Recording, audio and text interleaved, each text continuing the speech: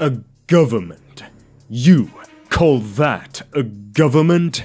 Looks more like the invention of a deranged snotling.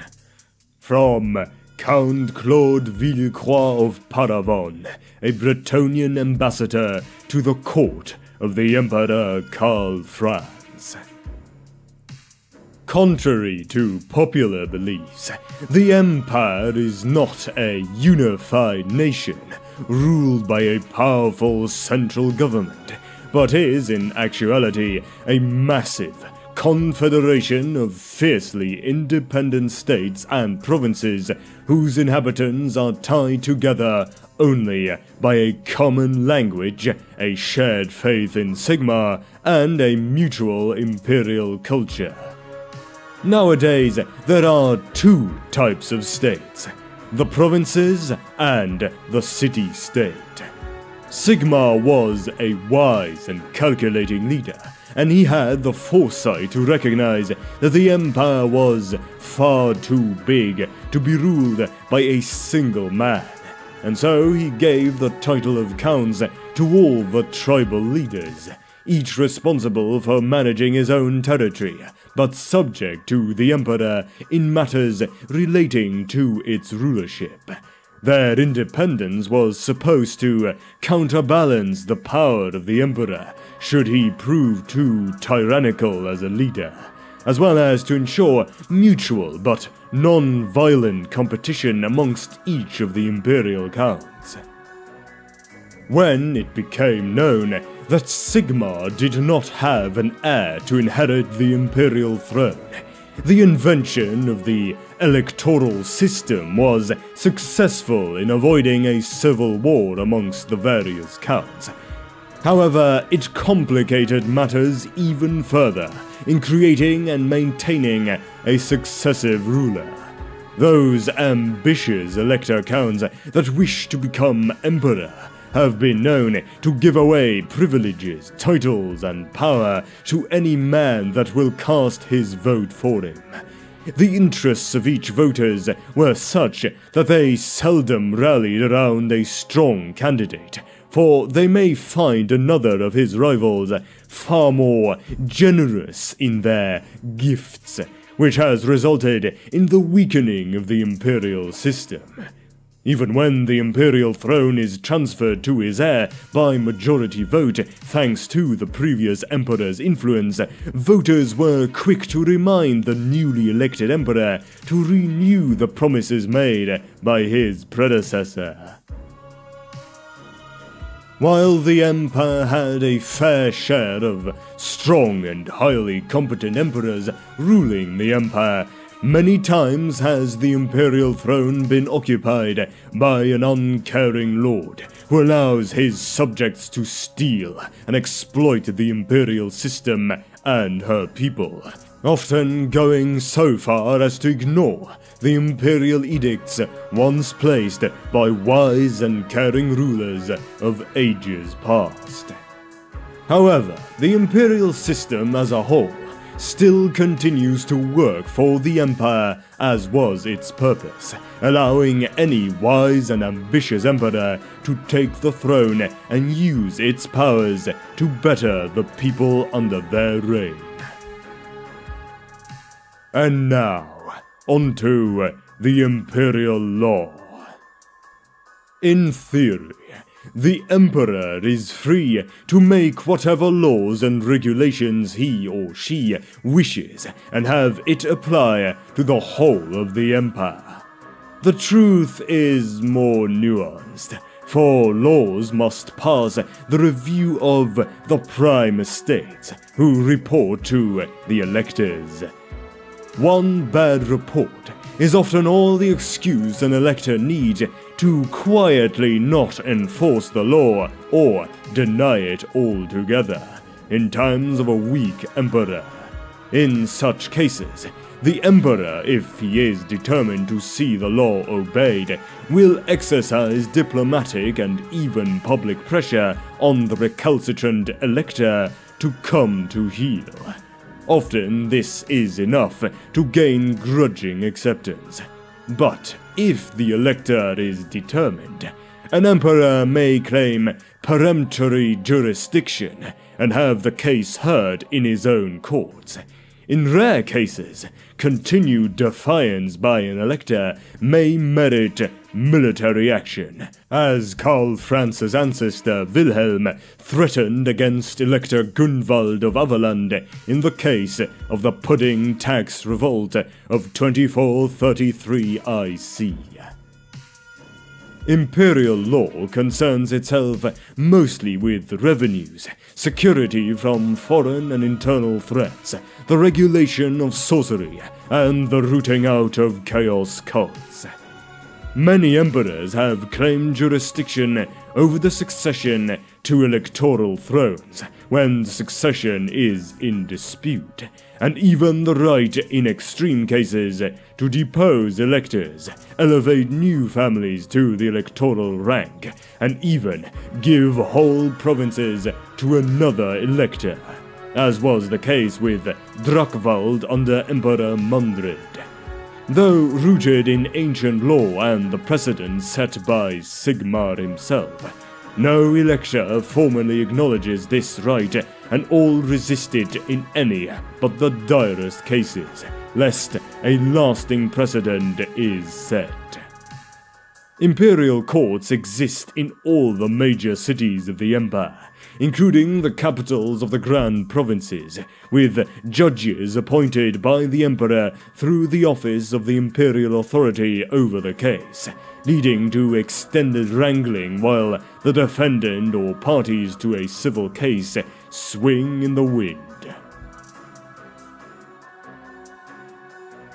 The Council of State. Due to its size, the imperial government is considered far too large and complex for a single man or woman to function properly.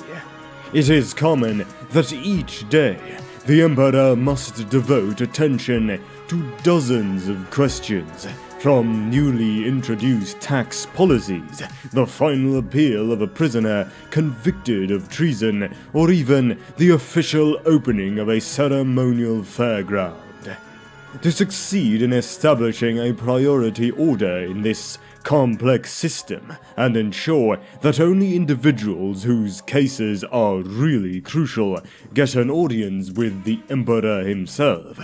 Successful emperors have often surrounded themselves with advisors chosen from members amongst the most prominent noble families so that they may assist on legal, financial, diplomatic, and military matters in the Emperor's stead. Over time, this gathering of councillors turned into a formal meeting, which officially became the Council of State. The current members of the State Council are Volkmar the Grim, the spiritual leader, Siegfried von Walfen, the Chancellor of the Reikland, Balthasar Gelt, the Counselor of Matters Magical, Amadeus Menken, the Chamberlain of the Seal, Kurt Helborg, the military advisor to the Emperor, Lotte Horsfall, the Chancellor of the Imperial Treasury, Agatha von Bern, the Supreme Law Lord, and Arne Darmstadt, the Chamberlain of the Imperial House. Each member of the Council controls a large bureaucracy that helps administer the affairs of the state. Such is the importance of their position within the government that the common people will probably never see these members in person, except maybe indirectly in official or ceremonial events. The Prime Estates. The Prime States is an imperial organization that was created to help administrate the actions and well-being of the Emperor in person.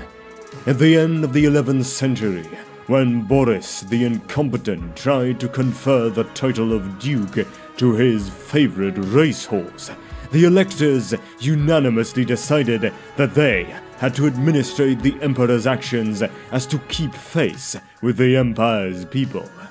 So, they deputed one representative each to form a watchdog body that would take the name of Prime Estates. This institution is located within a beautiful building in the confines of the capital, ostensibly open to any person of recognized nobility, although the lackeys of the Emperor are carefully kept away. In fact, the Prime Estates has now become the Supreme Court.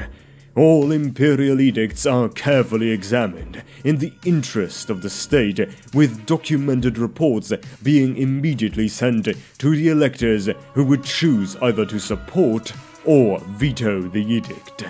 This organization has the powerful ability to refuse any edict that does not suit them or the Empire's interests, allowing the Prime Estates to have near complete control over what the Emperor is logically placed to decide. Each elector count has ensured an established representation in the capital, embassies directed by a loyal family member or close acquaintance. These ambassadors would discuss new imperial decree or legislation, as well as send these reports back to the electors that had elevated them to such a position. As they have the power to reject decisions that do not suit them, it is important for the Emperor to obtain the approval of the Prime Estate if he hopes to accomplish anything. In theory, the Emperor also has a veto over the choice, but in practice, it would be very difficult for him to exercise it. Indeed, without a real majority support amongst the electors, the Emperor has no chance to assert his right of veto. The latest attempt to do so was Emperor Matthias II, who wished to institute the first ever democracy. But the threat of civil war by the other elector counts was so pressing that he was forced to give it up. The provincial government. Since the time of Sigmar Heldenhammer, the lands of what is today the Empire was divided between many semi-autonomous states that are collectively referred to as the Great Provinces or electoral provinces, named because the elector counts who rule them traditionally have a say in the election of the next emperor. The provinces are further divided into various counties, baronies, or leagues whose administrative governors are appointed by the elector count. These regional governors, in turn, appoint the governors of cities. This practice, however, is not universally prevalent. Some cities have been known to elect their own municipal council. Theoretically, the boundaries of the imperial provinces were based on the territories of the ancient barbarian tribes that Sigmar had united around him during his reign as the nation's first emperor. However, over the last several centuries, the dynastic quarrels and ruthless ambition between various lords and counts have altered the borders where new states have emerged while others have since disappeared from history. The patriotic citizenry that lives within these provinces are fiercely proud of their people's traditions and ancestry. In essence, the people of each provinces are in many ways a completely different people with many expressions or dialects varying from province to province. The people of the East and North are generally more hardy and warlike as they are regularly victims of invasions, while those in the West and South are perceived as more cosmopolitan and civilized or effeminate and proud, according to the view of the person to whom a person asks. The style of government also varies from province to province. Talabecland, for example, is firmly autocratic, while Solland had many democratic ideals and institutions during its existence. In the overall health of the nation, however, the political structure between various governments has very little influence on the lives of the citizens of the empire overall, for the rich are still wildly favored over the poor who live in squalor. The lands of the great provinces are themselves a patchwork of smaller semi-autonomous states or holdings belonging to a certain religious cult or martial order, chartered towns and cities, and lands held by various noble families or even elector counts of other provinces. This patchwork is the result of a millennia of feudalism, inheritance, war, and purchases. Each noble, from the smallest landholders to the greatest duke, is theoretically beholden to one above him, up to the elector counts, who would then answer only to the emperor himself. Thus, if the emperor has a problem with the Duke of Nibelwald, he has to make his complaints through the Elector of Averland, who the Duke is a vassal towards. The City States The city-state forms a privileged, semi-autonomous state that can assert its political, legal, and military defense on a specific territory, the closed city wall, and its immediate entour. The city is a concentration of economic, political, religious, academic, and ideological power, thanks to its very diverse society and its semi-democratic ruling. Most cities form independent political entities within the greater imperial government. For the vast majority of the inhabitants of the empire, it is through the city that government is manifested in everyday life. This is where the taxes are collected, where the criminal courts are served, where a military service is completed, and where the goods are sold. The governmental structure varies from city to city. In some of them, the governor is sometimes appointed by the elector count as an autocratic authority, whilst others consist of democratically elected individuals from several noble or mercantile families.